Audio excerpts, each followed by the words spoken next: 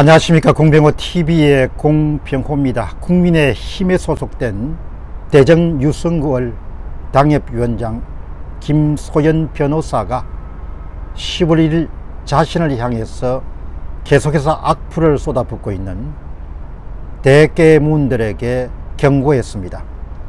그 경고문은 지난 9월 26일 날 김소연 의원장이 지역구에 게시한 추석 인사 현사물에서 달림은 영창으로 달림은 영창으로 달림은 영창으로 문구가 포함되어 있는 그런 현수막을 걸므로써 문재인 대통령의 지지자로부터 상당한 그런 비판을 받아왔습니다.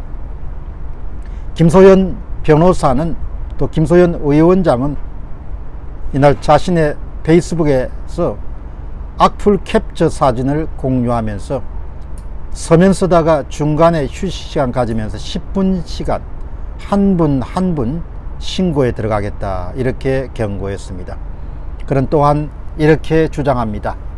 대깨문 문 대통령 극성 지지자의 계몽을 위해서라도 그들이 스스로 무슨 짓을 하고 있는지 그들의 수준이 어떤지를 스스로 깨달도록 하기 위해서 이번에는 반드시 이 문제를 공식화하겠다 이렇게 이야기합니다.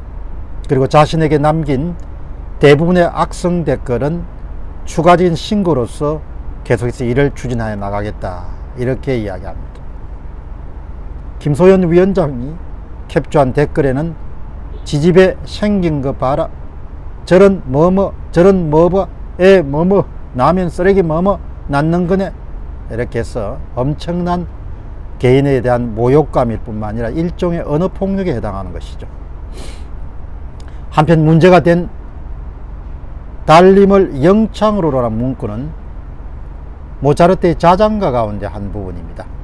노래 가사의 영창은 창문을 뜻합니다.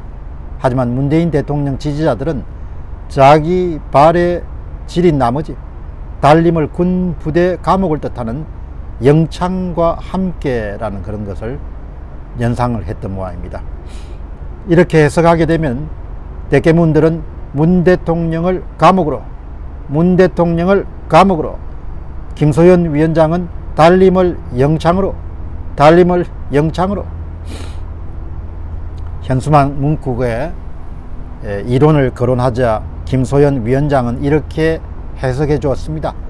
노래가 나오는 마음만은 따뜻한 명절을 보내란 덕담을 한 것이다. 이렇게 이야기합니다. 자, 이런 부분을 여러분들 접하시면서 여러분들은 어떤 생각을 가지시는지 궁금합니다. 달림을 영창으로, 달림을 영창으로, 문 대통령을 영창으로, 문 대통령 영창으로 모든 사람들이 해석하는 것이 다르죠.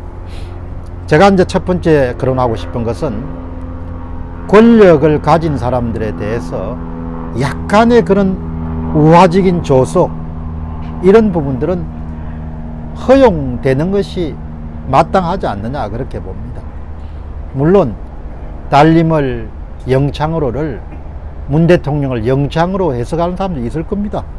그럼에도 불구하고 우리 사회가 자유민주 사회고 표현의 자유를 허용하는 사회고 그렇기 때문에 최고 권력자를 다소 조롱하고 이런 부분에 대해서는 용인될 수 있는 정도의 그런 사회지 않겠느냐 그런 생각을 하게 됩니다.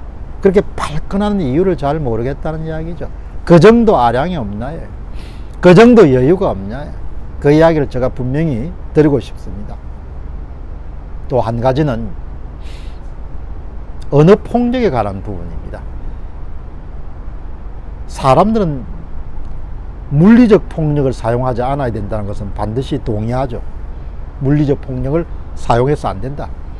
그러나 물리적 폭력에 거의 준할 정도의 상대방을 괴롭히는 것이 어느 폭력이다. 그런 데 대한 인식을 분명히 갖고 있어야 되는 것이죠. 타인의 신체 위해를 가하는 행위도 나쁘지만 마찬가지로 상대방에게 어떤 말이나 글을 통해서 욕설 퍼붓거나 이런 부분들도 엄청난 우애를 가하는 것이죠. 그런데 주변에는 그것이 물리적 폭력에 비해서 경미한 일이다.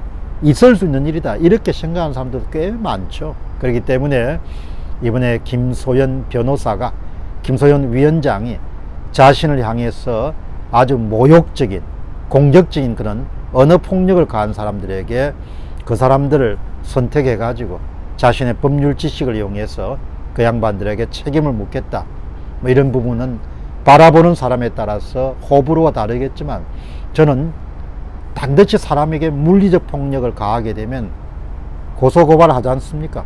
배상을 청구하지 않습니까? 마찬가지로 어느 폭력에 대해서도 반드시 제가 볼 때는 거의 같은 급이라고 보기 때문에 신체 위해를 가하는 행위나 언어로 위해를 가하는 행위가 거의 같은 행위라고 보기 때문에 저는 김소연 변호사의 그런 행동이라는 것이 충분히 정당화, 정당화 될 수 있다 이렇게 보는 겁니다. 물론 오늘 이제 방송을 들으신 분 가운데서 이 언어 폭력을 물리적 폭력과 구분하시는 분들은 좀 다르게 해석할 수도 있겠죠. 네, 그러나 저는 언어 폭력과 물리적 폭력이랑 거의 동급이고 모든 종류의 폭력과 똑같은 그런 처벌에서 다루져야 된다 이렇게 생각하기 때문에 정말 우리가 다른 사람들의 의견이나 주장에 대해서 그 사람의 자유가 있지 않습니까? 그러면 내 자유는 그 양반들에 대해서 비평이나 논평이나 비난을 가할 때도 좀 수위를 조절해서 폭력이라는 그런 범주에 들지 않도록 그렇게 격조 있는 의견을 남기고 또 격조 있는 의견을 피력하는 것이 올바르지 않겠느냐 그렇게 생각합니다.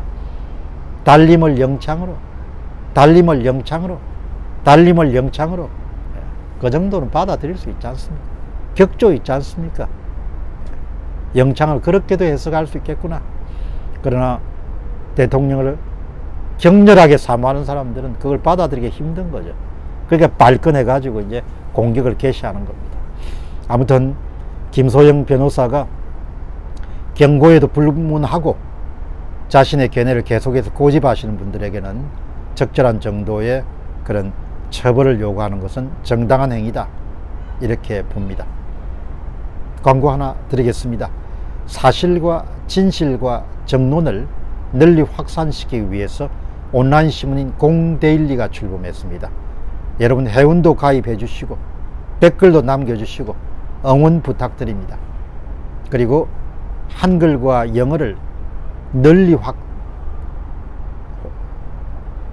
바탕을 두고 널리 그런 영상을 공유하기 위해서 새로운 유튜브 채널인 공TV, GONG TV가 출범했습니다.